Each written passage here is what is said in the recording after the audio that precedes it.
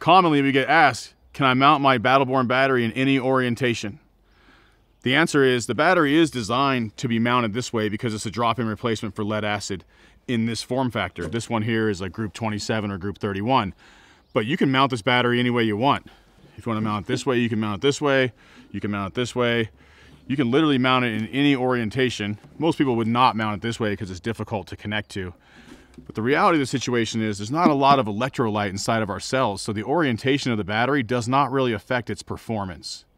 So keep in mind, you can also mount these inside. They don't need to be out on your tongue exposed to the elements. You can mount them under your bed, under a cabinet, under a chair, um, in the bay. You can find room in the bay to put them in the RV or towable. No problem at all. And you can mount them any orientation you'd like to. Just make sure the connections are nice and tight, ready to go.